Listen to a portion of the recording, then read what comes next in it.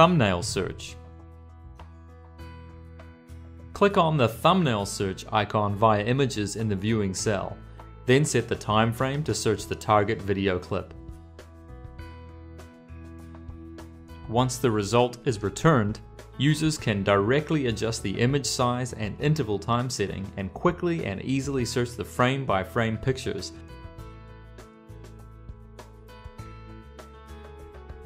by sliding the mouse from left to right over the zone snapshot.